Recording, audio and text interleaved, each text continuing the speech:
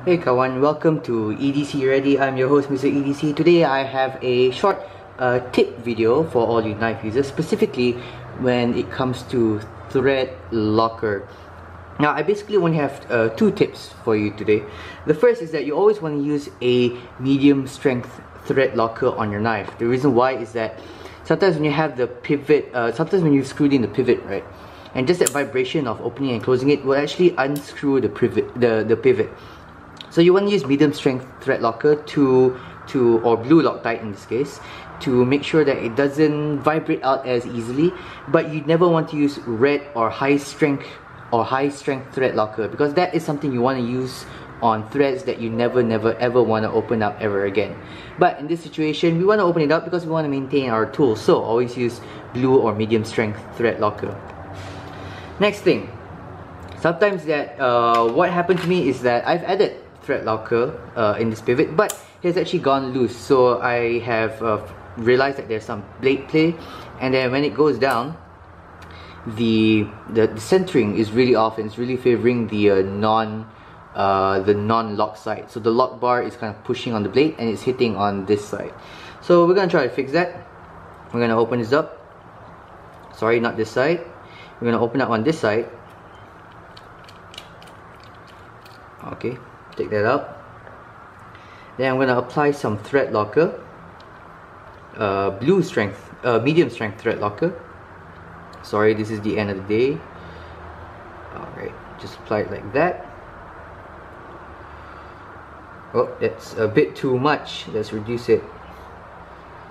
There you go. You never want to have too much because then it just spreads out through through the rest of the pivot color here which is also blue I'm gonna drop that in gently.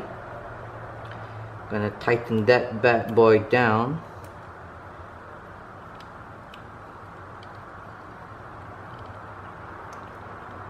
Okay centering is alright. Now it is about 55 45 so that's good enough for me. I'm gonna open it up feel if there's any blade play so far no blade play. Let's check the drop. It's alright pretty good. No blade play. Check the drop. It's alright it's good. Centering is uh, has gone off a little bit actually. Let's tight uh, let's try to tighten up this side. No rock no lock rock no side to side. Drops nice bit too tight now. Let's uh, reduce the tension here. Just a little bit.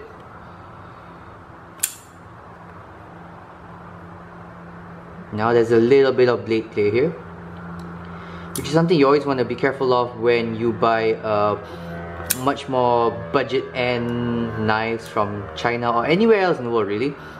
Sometimes the tolerances are not as tight as uh, something that's about five times the cost which makes sense because this is only like 30 USD or in Malaysia 150 ringgit. So it makes sense that uh, it's not gonna have as good as the tolerance as something like an expensive Spyderco or ZT alright so I'm happy with that. So off to the second tip. The second tip is actually this is actually a liquid. You can see here right there. This is actually a liquid.